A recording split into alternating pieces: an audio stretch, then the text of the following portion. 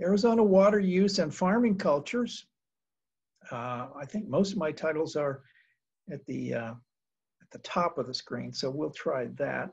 Um, and I want to tell you right now, I have been a historian, an academic historian, uh, probably 40 years researching and, and student teaching, but I really gotten out of the academic part of it. And when I wrote for uh, Rio Nuevo Publishers, which I've done for the last 10 years and am on furlough right now, um, I got more into writing for uh, souvenir books, tourist books, that sort of thing. So it's more of a general public.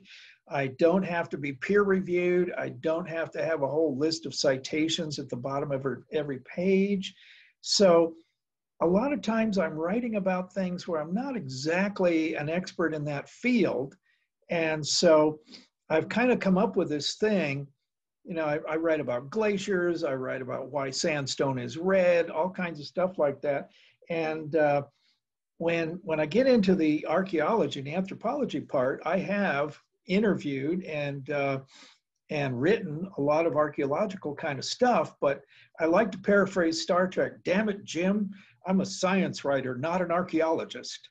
And so you'll have to take it with a grain of salt that I, I have done my research, but uh, there may be some things that have come up in the last six months or two years or whatever that have uh, changed the numbers. And, uh, and I've run across that. I'm doing a second edition of my Arizona book right now.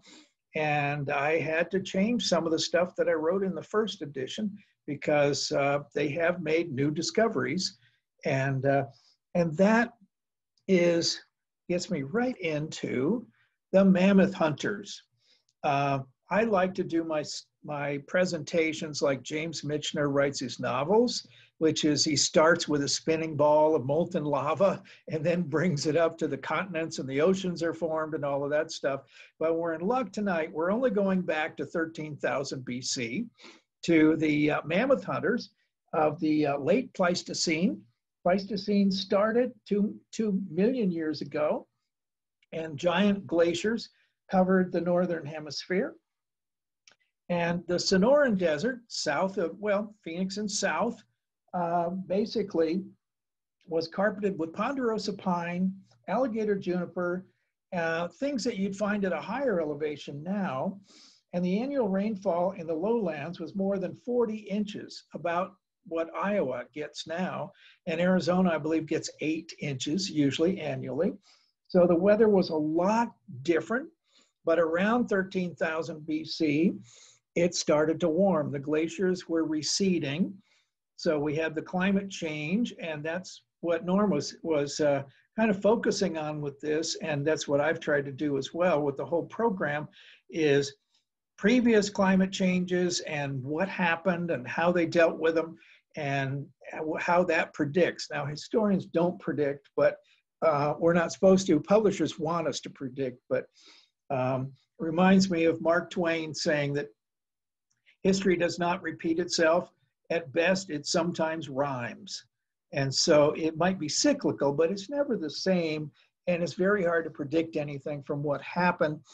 But we do have Another unusual, which I always thought, okay, the glaciers receded, it got warm, the climate changed, and the, the mammoths and the other big animals died off, and that's what happened. Well, it turns out that there's a lot of research, archaeological research now, uh, saying that about 12,500 BC, they had another flip in the weather it's called the Younger Dryas and is named after a, a, little alpine flower. The pollens are found in, in, the, in the glaciers.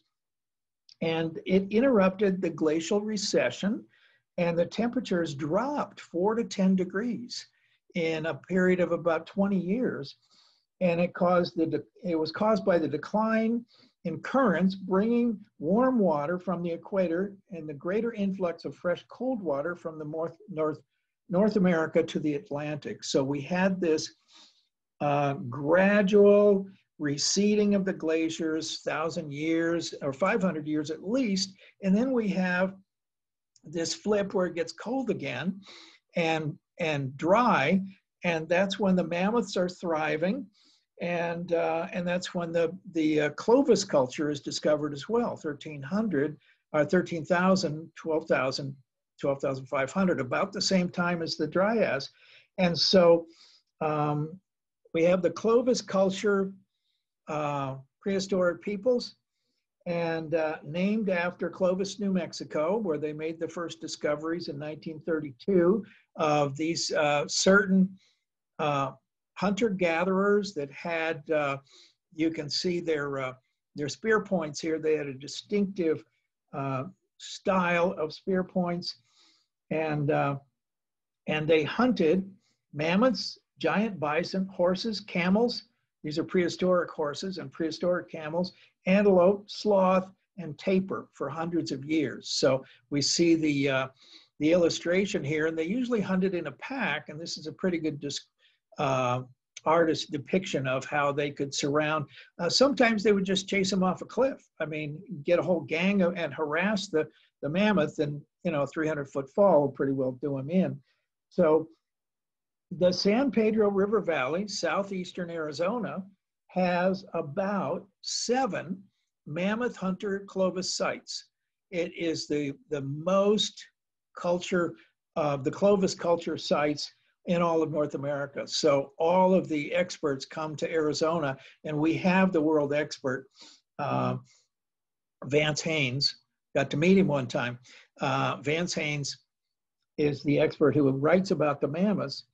And uh, so around 10,000 BC, they're there a couple thousand years, and around 10,000 BC, the situation reversed itself drastically. And in 10 years, temperatures rose 10 degrees in one decade. So this is the real, uh, what most scientists now, archaeologists believe, that the, this is what caused the uh, extinction. And they also feel that it was probably overhunting. These these mammoth hunters were very good at what they did. And uh, Vance Haynes has done this thing with um, looking at the isotopes in the, in, the, in the teeth of the mammoth to see what they were eating. And he could see there was a certain kind of grass and he could see where they got it. And, uh, and they moved away from the rivers to these meadows where they would get the grass. And what, what Haynes says is he, they, these mammoth hunters figured out where these mammoths were going to be. They could track them by, oh, this is where they go every year. And so it is believed for a while there, and there are still some experts that think a comet had something to do with it. And they, they will show you at Murray Springs Mammoth Site a layer of black mass that is uh, at a certain level around uh, 10,000 BC. But Vance Haynes has done research on that, and this is when the climate warmed again. They started getting a lot of growth, and it's all matted vegetal stuff. The black mass is on top of the mammoth bones, the last of the mammoth bones. So, and there's a lot of other evidence to show that it wasn't a climate, uh, it wasn't a comet.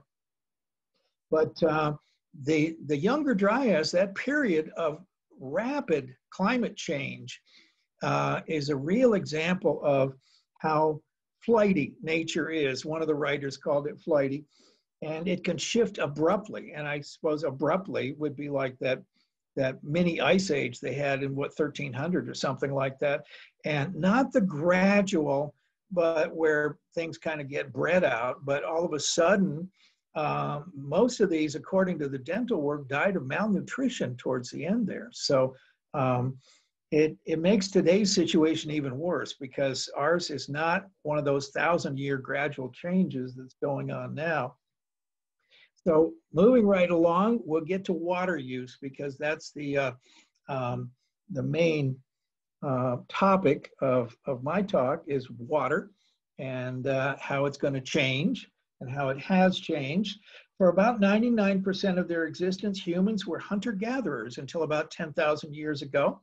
And lo and behold, that's about the time the hunter gatherers are kind of uh, disappearing. The Clovis merges into Folsom culture. And at this point, there's a transitional proto-agricultural stage. And I, I'd only heard about this about 10 years ago, and I proto-agriculture. It's not real agriculture, it's before agriculture. And what they did was they burned off, they, they helped the wild plants. They encouraged wild plants and made the yield better than they would have been just out in the so they're not just going and gathering what's there. They're going hey we like this. Let's see if we can grow some more of that. And uh, so what they did was they burned off unwanted foliage to encourage regrowth. So as things were dying they burned it off and you get regrowth. They weeded their favorite plants weeded the other stuff from around them irrigated and then replanted things. They take pieces except for the edible part and they would they would replant it. And it reminds me of you know when you have an avocado seed well that's actually planting a seed but my mother used to uh, put a uh, sweet potato in a uh, in a jar with toothpicks and jar full of water and the thing would reroot. So uh, the plant itself will reroot. So we had this going on um, for several hundred years. They were doing that until they realized how to gather the seeds and plant the seeds and actually do that. Um, and this is a, a, mural at the Arizona Historical Society of the various levels of hunter-gatherers all the way up to canals. And I'm gonna have to move my, my screen here so I can see this. Yeah, let's go over here and see if that works. Yeah, so um, you're moving up to modern times or almost modern times, but the earliest is you've got the, the proto-agriculture and then you've got your irrigation ditches. And this is a site out by Marana called Las Capas or the Layers because they've got hundreds of years of civilization in that one particular site. So this is what the archaeologists would see. It's not terraced in real life. It's they've actually done a cutaway to see this is what they look like in 1300 and this is what they look like back in 1500 BC and so on and so forth. So you've got the gatherers who are just starting to realize they can store things in pits. And uh, so the early farming culture at Las Capas near Marana, 2200 BC to uh, 400 AD. Now, there's three or four different ways to say this. BCE, uh, before the Common Era, is pretty popular now. And Common Era for AD. And then as I was doing the research for this, I learned that now they're using, um, oh golly, I've, I've already forgotten it. So we won't go there. We'll just say, we'll stick with BC and, and, uh, and CE and it'll come to me later. So around 1200 to 800 BC, the San Pedro phase of these, uh, of these, this culture early farming culture, moved north from Mexico into what is now Arizona and began to grow what we know as the three sisters corn, beans, and squash. And that's pretty much uh, just about every culture you go to. Uh, I'm originally from Connecticut. I was telling Norm I was we eight generations in the same house there, and my father couldn't believe he got in a cafeteria once. He ordered succotash, and the lady didn't know what it was. She said, "Oh, you mean beans and corn?" beans and corn, that's succotash. And so the Yankee Indian, the New England Indians call it succotash, but they're still growing corn, beans, and squash because uh, they work well together too. They, they complement each other. Um, and recent research, and this is the thing, if you go online, you can find things published in 1995 that has irrigation canals much more recent but the, the most recent studies, and that's desert archaeology, and I know quite a few people over there, uh, are finding now from ostracods, uh, these little tiny shrimp that they can find in what used to be the canal, where they can see that the temperature was such and such, and this is when um, they, this particular genus, species, whatever, they can ID a date. It's almost like carbon dating. And so from those prehistoric shrimp, they are finding that the earliest dug canals are 1200 BC. Um, probably the one among the oldest in North America. And in the Western hemisphere, the oldest are about 3,000 from northern, northwestern Peru. So that's, that's a, we're number one kind of asterisk there for the earliest canals. And uh, we used to think that the Hohokam in the Phoenix area and down in Tucson were the first ones, but actually this is way before the Hohokam showed up. But they are the next folks to come on and they are the master canal builders. And I am so glad I found this map. Uh, I'm assuming that most of you are, are Maricopa County, Phoenix area, but this is, it's really hard to explain how good they were at building irrigation canals. And this is uh, um, around 800, 800 AD, 800 to 1250 is when they're doing this. But uh, you can just see the, the Gila and the salt, you know, that's, uh, that's the, the far end of it on that end. But uh, it's just amazing the, the, uh, the uh, Pueblo Grande, pretty much near the airport. So you've got that, Squaw Peak. And it really gives you uh, an idea of how extensive um, these were. The Hohokam is an Akimel O'odham word for those who have gone before. And the homeland of the Hohokam, I really like this, is pretty much the natural habitat of the saguaro cactus.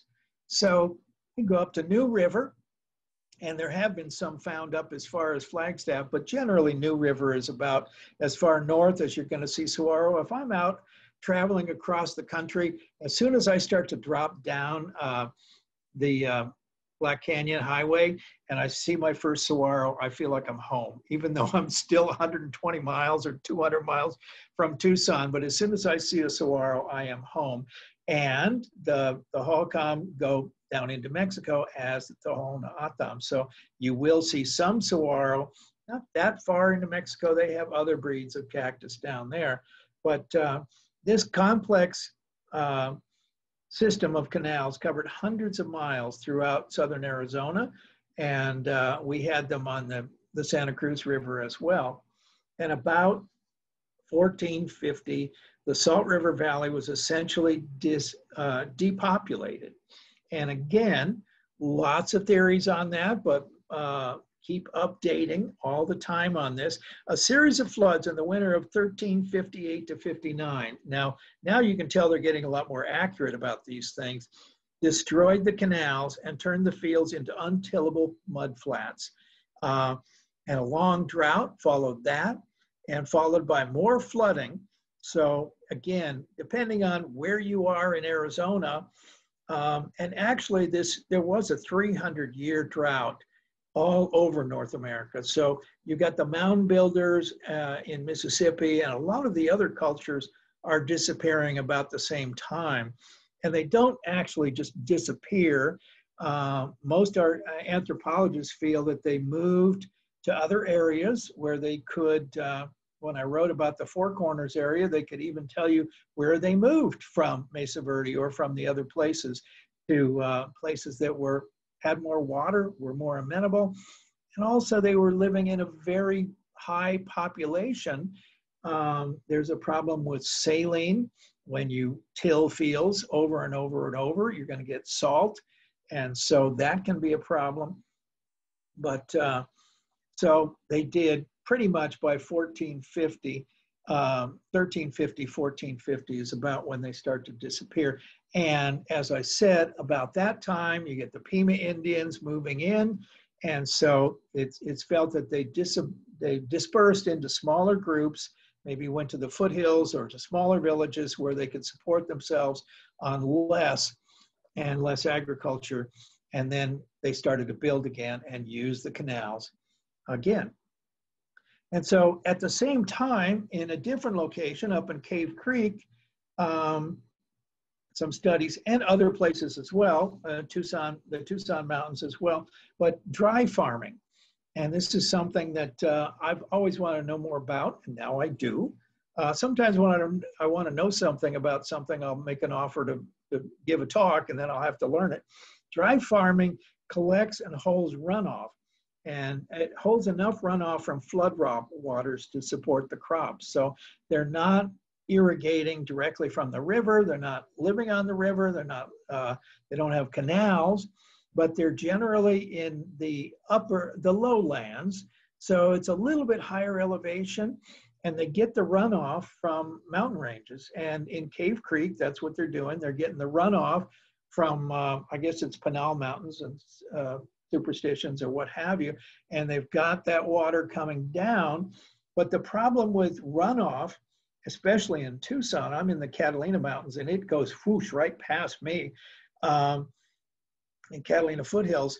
But the idea is to slow it down so that you're not washing away all the topsoil, you're not washing away the crops, but you're slowing it down. So they had a number of things, check dams. Uh, on the slope, they're going to put a wall of rock, and, uh, and that will stop the water and it will stay long enough to soak in. Uh, terraces, this started in, in China um, as early as, uh, I think, uh, 2000 BC. They started doing that in China, where you, you cut steps literally into a steep slope. And so the water comes down, flop, and then gets to a wall. That's another method they used was bordered gardens. They put rocks around the edge of the garden so that when the water got there, it didn't just sluice right off. It would stop long enough to soak in. So we had, uh, and these check dams and terraces had a dual role. They stopped the water, but they also trapped the soil. And the soil coming from the runoff is bringing silt with it, it's bringing nutrients with it. A lot of the flatlands in Arizona are mostly clay and they're nitrogen poor. And so when you get all this stuff with leaves and everything else in it, uh, you're getting a richer soil. And so you want to trap that debris. And, uh, and that's what the walled gardens and, uh, and the terraces will do. And then the other thing is that many of the canals down in the Phoenix area, these canals, they would um, build their fields at the end of a silt deposit. Uh, where the river had gone in one direction and then it kind of changed its course. But in that, the old course, there's still a lot of silt from thousands of years of buildup. And the Hohokam figured this out and they said, hey, let's plant there and we'll just bring water to it because the soil is good, it's rich. And we'll plant where the silt is.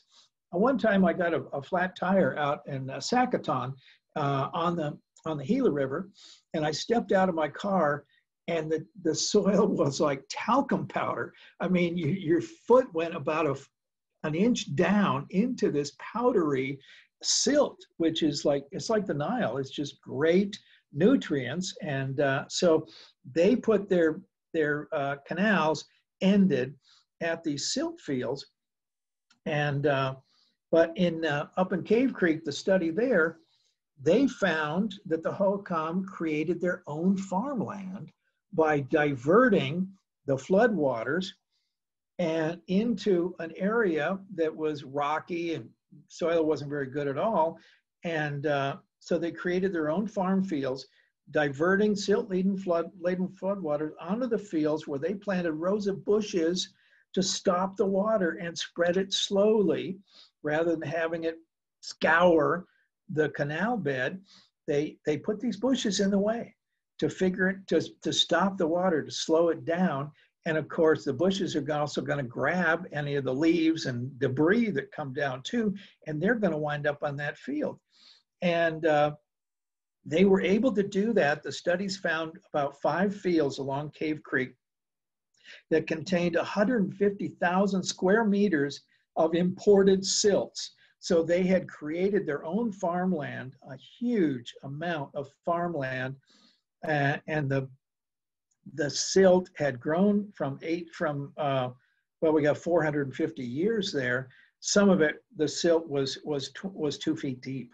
So this is really rich farmland. These folks really know what they're doing and uh, the toho Tohono O'odham down in the tucson area and out to ajo down where i live they use the same process today and the anthropologists are disagreed agree to disagree about whether the the the Pima and the Tohono O'odham are descendants of the Hohokam.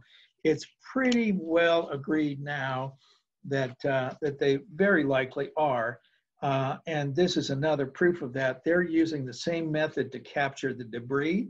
And, uh, and in, in that area, a one inch layer of humus is humus is added to the fields each growing season and it decreases the alkalinity in the soil as well. So um, these, these are methods for improving the farming in a dry area where um, you could wear out the soil and, uh, and they don't have to rotate the crops as much because they don't wear out the nitrogen because they've got new nitrogen coming in every year.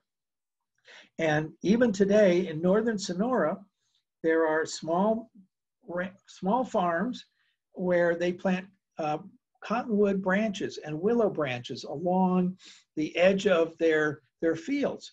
And those grow into trees. And once they grow up a ways, then they take branches and weave them along the ground to make a fence, a, uh, a fence that will stop the flood water. And again, it catches anything that's flooding down and that soil and silt and, and detritus winds up in the field. And they, the, the fences also prevent erosion and scouring over and over again. I'll talk about scouring because when you get a flood, that's what happens. It, it just, it cuts the, the riverbed deep and once it gets into that depth, it'll just keep going. I mean, that's where you get the power, and that's when the farms start to uh, uh, you have trouble, a lot of trouble, and that's what we're, we're ha we have in uh, the 19th century and even today with with the scouring thing. So probably the the the, the most um, adept desert farmers are the Hopi and they are using the same techniques, check dams, terraces, and bordered gardens and waffle gardens. And I had never heard the term waffle gardens before. And uh, a lot of times when I read these things, I say, oh, people, somebody's going to ask me, I better look this up. Somebody's going to ask me, what is a waffle garden? Look at them. A picture says a thousand words. You can see why they call it a waffle garden. It looks like a waffle iron and that's what they do they've got the soil that's you know you can get it just moist enough to build these little walls and then when you do get rain or you bring the water to it in your olla in your clay jar then you can water just the area for the plants. You don't you're not watering the whole world. And uh, and so that's a very economic way to use water is in these waffle gardens. And uh, so anthropologist Emory Sekaquaptewa uh, tells us about the Hopi way of life, Hopi Vatskawani. It includes every part of Hopi society and culture, kinship, family, religious ceremonies and beliefs, political organization, other concepts, and um, Hope's Hopitsvatskwani gives Hopis a strong sense of security in an often troubled world by relating the past to the present and ensuring cooperation with the supernaturals who provide rain, abundant crops, health, and well-being. So Hopi seem a lot calmer than most of us, and that's because of their belief system. And they have a wonderful T-shirt that says, "Don't worry, be Hopi," and uh, and so that is, it ties in with their with their farming methods, which again, lots of uh, praying and doing things the exact right way in harmony with nature. And harmony is is always the important part. And when we're out of harmony, that's generally when we have trouble with nature. We're not going with the flow, literally. So um, in, in reading about the Hopi, I learned about Ak-Chin farming. And I thought, well, I know where the Ak-Chin are. They're down by in Maricopa County. Why are the Hopi? That's a term that they use, and it's pretty much the bordered gardens and uh, catching the runoff is sometimes called Ak-Chin farming.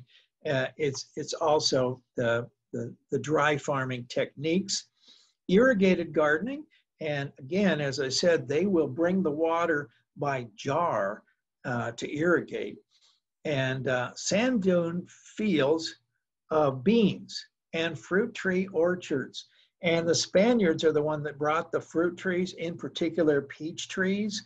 And uh, there's all sorts of oral histories about how much the Hopi loved the peach trees. At one point, some of the Hopi, uh, because they were being harassed by Spaniards, went to live in Canyon de Chelly, and uh, and they missed the peach trees so much that uh, one of the women talked her Navajo husband into going back to the Hopi mesas and getting the peach pits, and that's why there's more than 5,000 peach trees in in Canyon de Chelly. They're not a, well, they are a Navajo thing as well, but at, at one point, probably in the 1880s, a sack of dried peaches would buy you a horse. They were that valuable in those days. So uh, that is something they grew. And um, corn, melons, and squash at the mouth of the, the washes. And again, this is where you put the bushes there.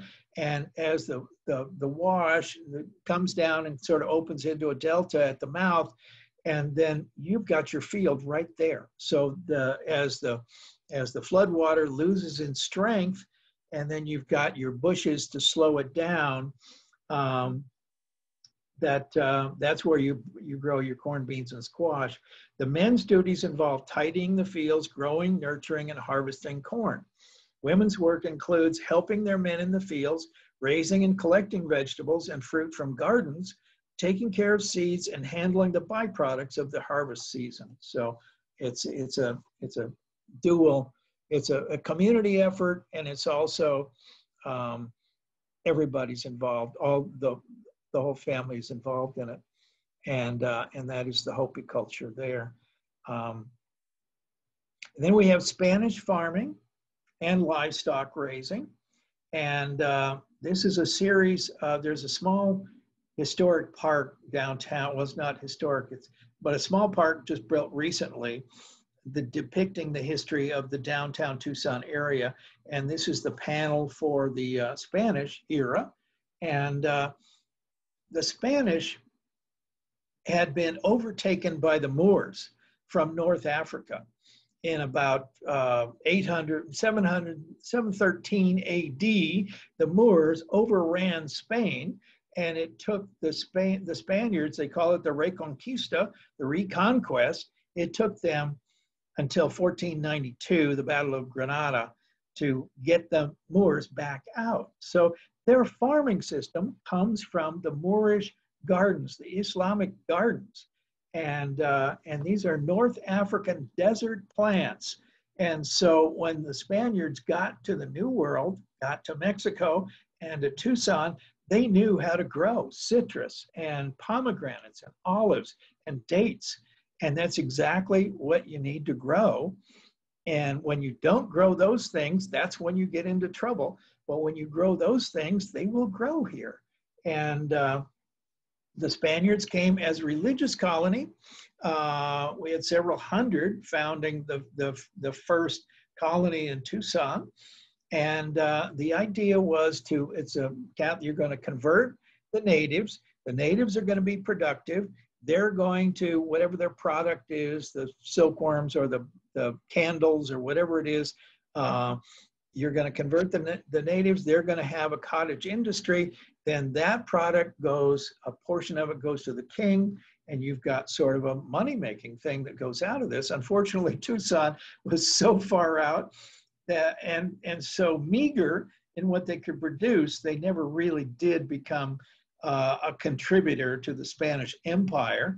But the other thing was to protect the, the Spanish Empire from the Russians and the English who were going to come in and take their colonies. So, so we were the farthest post north. We were just kind of a toehold just to say, okay, our border is up here.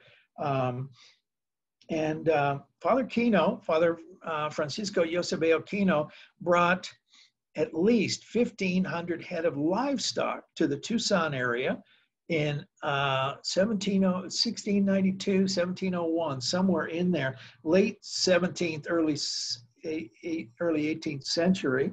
And he did it with, he had trained Indians to be cowboys. So the first cowboys in Arizona were Indians. And, uh, and they probably burned the crops to foster their new growth. You, if you go to Mexico, you can still smell the mesquite where they're doing that sort of thing. Uh, but they they the whole southern Arizona was still grassland, even though it was a lot drier. It was grassland until the Spaniards brought in their cattle, and the cattle and the sheep and everything else pretty much, and they burned all of the, the dead stuff so that the little new stuff would go up, but the hooves of the cattle and the sheep would destroy the new plants. So eventually, you didn't have any grass at all, but the cattle were eating mesquite beans and then they were pooping out the mesquite beans. And so you had a little pellet, a planting pellet, as it were, with the manure and the bean and the, the area that had been trampled so there was nothing else there and by the time you get into the 1800s, um, you have no more grasslands or very little grassland, but you have mesquite thickets. We had uh, somebody tried to re retrace Coronado's route through east, eastern Arizona uh, in 1540. And when he tried to go through there in the 1990s, it was so much mesquite, there was no way he could get through it. So uh, that is one way that uh, that newcomers to the area have upset the balance.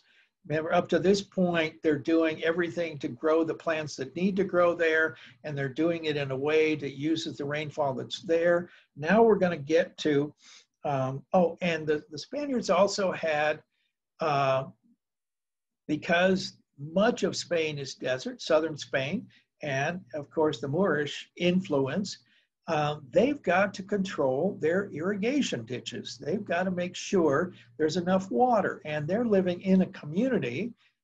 And as I said, this is a, a religious community, but it's also, we're out on the frontier. Everybody's got to help them, help each other. And so they had a man in charge of allotting the amount of water that was in the rivers into the irrigation canals and into uh, your farmland. And around Tucson, there were quite a few acres between what is now downtown Tucson and a mountain, um, seven, eight miles away. And so that man is called a zanjero, and he is in charge of the ditch, and he is in charge of who gets how much water. And their rule of thumb is the water goes to the land that needs it the most. So evidently, if you get a lot of runoff and your land is pretty wet, you don't get as much water as the guy on the north end of the Tucson Mountains that doesn't get as much water. That is going to change when the Anglos get here. And uh, if you want to see a great movie about how much water you get for your fields, Milagro Beanfield War takes place in New Mexico, and it is exactly that the some farmers are not getting the water they're supposed to. They're sneaking in they're diverting water and that's that's water is really valuable and that's what happens in the area. So uh, yes now we've got american farming and uh, this is silver lake on the santa cruz river in tucson in the 1880s it's about where 29th street crosses over the freeway and uh, you got Starr Pass coming up, but right at the freeway and 29th Street, just south of A Mountain, is where uh, this this man named Lee had a had a uh, flour mill there, and he built a dam, dammed up the Santa Cruz River, and made a lake. And it became an amusement park, and you could go, and there was a fancy hotel there. And eventually, it got kind of disreputable, and not you know people didn't go there anymore but eventually the dam burst. And when a dam bursts, it scours the riverbed because you've got all of this building up and you've got a depth and you've got some a flood coming and all this water is rushing. And when it bursts the dam it scours that uh, that whole riverbed. And the santa cruz river uh, used to used to run on the surface and kind of meander in that area i just described out by st mary's hospital and such and uh, so the arroyos, when this happened, the, after the United States took possession, minings and railroads came in and created a population explosion, and the watershed changed drastically. The arroyos were carved deeply into the floodplains. They're chopping all the wood uh, for flour mills and for construction and that sort of thing. Um, they got the cattle that are trampling the grass, so the roots aren't there anymore. They're, they're cutting roads, they're building railroads, and this is cutting into the floodplain. So when there's a flood, you got a lot of loose dirt and it starts to dig into these arroyos. And uh, uh, the streams went dry, water tables dropped, and the farmers abandoned many fields. And again, uh, the dams and canals did a lot of that because if you dam up the water, then you've got nothing downstream, and eventually, when it when it goes, it's going to cut. In 1888, Sam Hughes, one of our early, well, I was born in Wales. He's a Welsh immigrant, went to the gold fields, and then came to Tucson in 1859. So he's one of our early Anglo entrepreneurs. He dug a small trench off the Santa Cruz River and let the erosion do the rest. He just chopped a hole in the bank and then figured he would let the water runoff dig his own irrigation canal, which it did, but it kept getting deeper and deeper, and then it started eating soil up river, up the Santa Cruz River. And so the joke was that within months, this man-made arroyo eroded several miles upstream into the river channel, and of course, it's digging it lower as it goes. And uh, so the joke was Sam Hughes, a ditch, took a walk back up to Point of Water, which is up by Santa Fe Mission. And uh, that was pretty much the seminal event, 1888, is when it started, the Santa Cruz started to get deeper.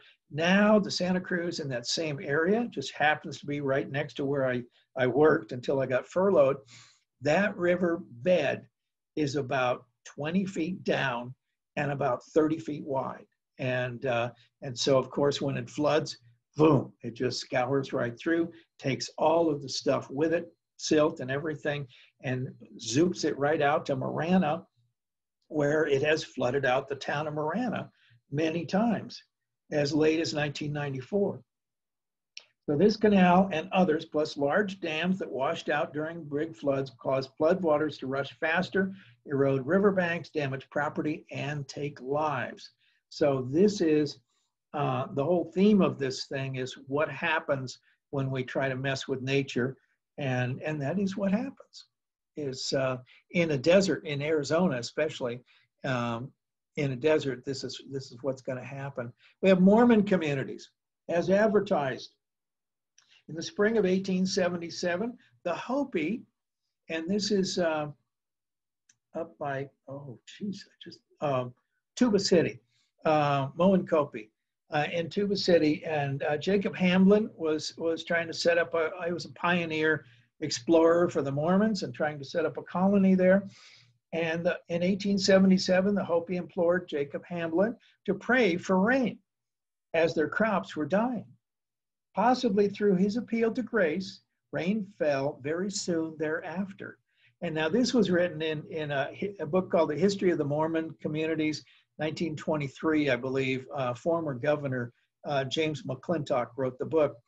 And, uh, and the Mormons did believe that, that, that if they prayed, it could change climate conditions. And uh, so, if they kept the right attitude, God would smile on them and they could go to the biggest desert in the world. But if they had the right beliefs and they and they did things right, more rain would, would arrive. Now, in the 1890s, we had a new theory that uh, land developers were trying to get people out to the west. And so they came up with this theory the rain follows the plow. And so as you plow, it reorganizes the ions or whatever, and it causes more rain. So, yeah, it's a dry area right now, but if you come out and start farming, it's going to rain more. And that was actually in pamphlets published by the Santa Fe Railroad to get people to immigrate from Europe because, oh, yeah, it's dry, but the rain follows the plow. And so one of my professors, Roger Nichols, said, I guess you could say the Mormons believe that the rain followed the prayer. And, uh, and so they did come to the north, northeastern Arizona in the 1870s. And man, they had trouble with nature. It's too hard to count how many times floods and dams bursted on the Little Colorado from 1877 to 1894, after the eighth dam at St. John's, Arizona, got blown away by a flood, Joseph W. Smith had a dedication to the Newt Dam, and these dams were costing, starting with 5000 and by 1894, they were paying $60,000 to build a dam. Little Colorado comes along and just blows it right out. He's, and so his prayer at the dedication, Oh Lord, we pray this dam may stand, if it be thy will. If not, let thy will be done. The invocation was effective. The eighth dam finally made it. And that area is indeed still a very populous and very productive farming area. The Mormons also, in the 1770s, went along the Gila River and, uh, and started putting in crops there. And still today, huge cotton crops. Right in the town of Safford, you've got a house a vacant lot with cotton plants, another house, and this is in downtown Safford. So they really, and they didn't believe in ranching. They said, ranching, you're too far apart. Mining was just greed. So they weren't going to do mining. But in ranching, it wasn't a community effort. And Mormonism was all about community effort. So a farming community, you're living close to each other, door to door. It's community effort. And many times when they started these farms, they were communal farms. They were all the products were shared. It didn't last very long, but they did create community stores where they make products like brooms and that sort of thing. And those continued to be community owned and operated. Um, and then we go to uh, Tucson, back to Tucson for a lawsuit about water, which reminds me of uh, a saying attributed to Barry Goldwater. I'm sure he probably heard it from his grandfather who came to Arizona in 1859. In Arizona, whiskey is for drinking and water is for fighting over. And it certainly is for fighting over. And this is what happened in Tucson. Uh, as I said, the Anglos had chopped down the mesquite for steam powered flour mills and overgrazed the bottomlands, taking away the retaining roots, increasing the runoffs, and scouring the settlers built more dams to ensure the water supply, and uh, and it at uh, just right next to St. Mary's Road, uh, where it goes into the Tucson Mountains. There, uh, just north south of that, we had Solomon Warner. He had a mill. He built a dam, and um, for his mill race, flour mill race, and the the the, the farmers from downstream came to him with shotguns, saying, uh, "If you don't destroy that dam, we're gonna we're gonna get rid of you," because when you put build a dam, all the farms downstream don't get the water, and uh, I'm not quite sure how that came out, but Warner was still there, and uh, so evidently the law was on his side at this point. But the next group that tried to garner all the water did not come out so easy uh, Sam Hughes, Leopoldo Carrillo, who was a, a large landowner, and W.C. Davis leased their lands along. This is the farmland right here. We're looking at the farmland um, that's across probably to the, the, the, the Tucson Mountains over here on the, on the far distance. And Tucson itself is going to be about in the middle. And the picture is probably taken from, I mean, those are the Catalinas, I'm sorry and these are the Tucsons. So we're looking east from the Tucson Mountains, where A Mountain is on the west side of Tucson, where the first Spanish mission was. And these are all the fields that were along the Santa Cruz River, fields and orchards since 1771.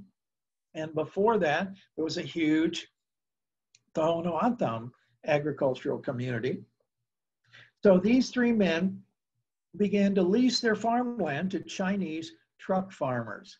Now, I find that to be a humorous phrase. They're not growing little GM pickup trucks and they're not putting dirt in the bed of a pickup truck, but they take the vegetables to market with a truck. And so it's called truck farming. And it is generally for table vegetables, for lettuce and, uh, and that sort of thing. Until the 1880s, you pretty much ate chili peppers and beans and whatever grew well in this area and you gave up on on the delicates, the broccolis, the asparagus, and and the lettuce, and the things that you had to leave back east. Well, the Chinese, after the railroad, after they worked on the railroad, they they started and they tilled more than 100 acres in this area and they needed more water. Lettuce takes a lot of water. And so the spanish law said you water the farms that need the most and you only water on the weekends. Well the chinese needed water every day or at least every other day for their vegetables. So the trio of, of landowners hughes carrillo and davis formed a water commission and they built a rock and brush fence across the Santa Cruz and apply, farmers had to apply for water. Well, the farmers on the north side, on the far end, they never got their applications accepted. So they took it to court and, uh, and they won. So the fence had to be dropped down. But the Chinese still began, came in at night and took water out of the river that was not part of their share and watered their, their truck gardens. Phoenix floods, just a very short on the Phoenix floods. 68, heavy summer floods. 74, the river ransacked the valley for three days. Uh, no rain in the summer of 1891, uh, and they went feast or famine. And then in 1892, Chief Justice Joseph Kibbey made a decision. The water belonged to the land. Up to that point, the canal company built the canal, provided the water, uh, and sold shares of water, even though they didn't own the land. Um, they sold the shares of water, and uh, and Kibbey said, no, you have to own the land, and then you get a certain share. And he also passed a very old, I believe, English law that says the first people there have the first right to the water. So that's prior appropriation, prior rights than those who came later. So the early farmers uh, would get the land and get the water for the land. Um, all of these floods brought about the, the Theodore Roosevelt Dam. And uh, it was the first project completed under Reclamation Act of 1902 It set aside money from public land sales in, in arid states for irrigation projects. We got the first one because McClintock, Governor McClintock, had been Major McClintock under Teddy Roosevelt at uh, in the Spanish American War in Cuba. So when Teddy got to be president, they call him Teddy's boys. He made he appointed a Rough Rider as territorial governor of Nevada, a Rough Rider as territorial governor of Arizona, and uh, so that's how we got the dam.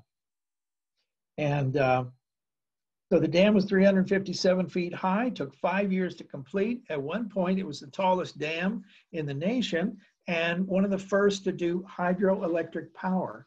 And uh, we really needed that because in uh, 1917, the Suez Canal is blockaded during World War One, and there's no Egyptian cotton supply. All of a sudden, Arizona is the lead, the world's leading cotton. Cotton is a dry, hot, arid climate. They they stopped growing citrus. They stopped growing dates.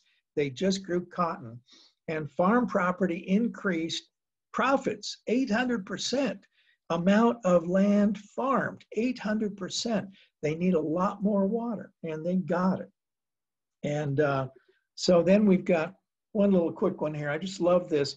In, uh, in The Winning of Barbara Worth, this novel by Harold Bell Wright in 1911, he describes what happened in 1904 when land developers decided to chop a hole in the Colorado River to just uh, create some irrigation ditches for a new land development they had, but they didn't realize that the drop on their irrigation canal was more steep than the actual flow of the river. So the whole Colorado River dumped west into California, uh, went 100 miles, created a 60 foot waterfall, 100 feet wide, and refilled the Salton Sea, an ancient sea which is still kind of there, but it's sort of evaporated in brackish right now.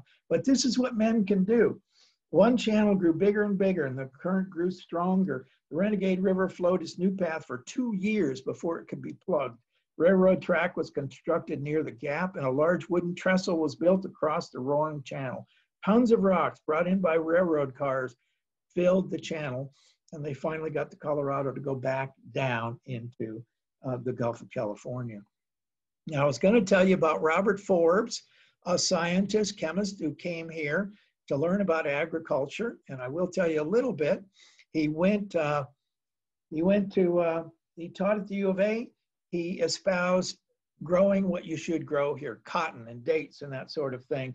Uh, he had a, a, a, master's from Harvard, went back and got uh, a PhD from UC uh, uh, Riverside. He imported Middle Eastern plants to Arizona. Um, and then he took a job, got a little mad at the president of the university, took a side job in Egypt as a consultant. Oh, I'm still in Egypt, back over here. And once he, he was amazed at what they could do. Um, but he also noticed that the, the goats, sheep, and camels destroyed the soil and overgrazing, semi-desert. He called them man the desert maker because anytime you bring this stuff in and you trample the plants, then you don't get it back. It doesn't come back. Um, so then he got a job as a uh, consultant to Haiti and uh, and experimented with with different planting there, and uh, then came back, ran for the Arizona Congress because he was really upset about water use and and uh, by this time he's upset about pumping groundwater. They have new electric pumps that are really digging deep and using up the groundwater. So he said, I happen to have traveled in parts of the world where along ancient stream courses there were once great cities which are now abandoned and in ruins because the water supply that formerly supplied the land around those cities carried salts and it finally salted those lands to the point where they can no longer be used in the cities they left behind are in ruins. So he was really, this is in the 1930s, he's quite before his time. He, uh, he served in the Arizona State Legislature from 1930, 1948 to 1952. And, uh, and his last term, the Republicans took office, and he was 85 years old when he left. So we have floods in Tucson, same story, dams, scouring. Um, and now we have Phoenix, because of their canals, became I think they produced 20%, or they did 10 years ago, 20% of the, the nation's rose bushes are grown in Phoenix along these canals because if you buy property, you get irrigation once or twice a week. So uh, a, a rose bush is a very thirsty plant, as you may know, not the kind of thing we should be growing here. We do in Maricopa County grow eight crops of alfalfa per year, and that is a desert crop. So uh, we have water boards that decide who gets how much water. And uh, I'm not going to get into that, but overpumping groundwater creates cracks, fissures, fissures, and subsidence where the once the the aquifer is pumped out, it collapses or it cracks. And uh, so the these uh, thousands of square miles of land leading to millions of dollars in damage at highway bridges, wells, power lines, businesses, and homes. The government is now trying to make sure people follow rules about how much groundwater can be pumped so this problem does not get worse. I was co-author of a fourth grade textbook, so the phrasing is a little different in this part because we're trying to explain to the kids what's going on here and how serious it is. And then we go to the Colorado River, which doesn't run dry in, in, uh, at the end. It, it is shunted by the All-American Canal into the Imperial Valley, where they grow about 20% of the nation's winter vegetables. And again, they're growing lettuce and and cauliflower and things that take up a lot of water. So uh, we now have a fight between the residents and the growers uh, who gets the water. And um, they also, um, it dumps a lot of salt. And this is mostly from farm irrigation runoff because the Hoover Dam stops a lot of the salt from up, up higher. And uh, so they started a desalination plant in 1992, $250 million uh, from various agencies, 60 acres designed to clean 73 million gallons of brackish water per day. Hydrology problems, cost, and political problems. The plant only ran for two months. So it's sitting there. And this is the whole secret to water problems and warming. If we can figure out a way to do desalination, there's plenty of water. It's just not usable water.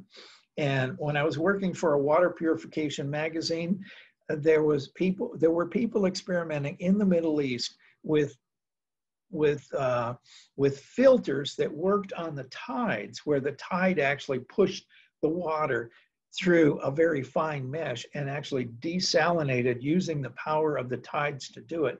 Another one figured out how to get water up a ramp and then drop it through a filter. So again, it takes a lot of force to push water through a filter and desalinate it. But if you can come up with a way that's very efficient, energy efficient, um, that, that is the answer to it.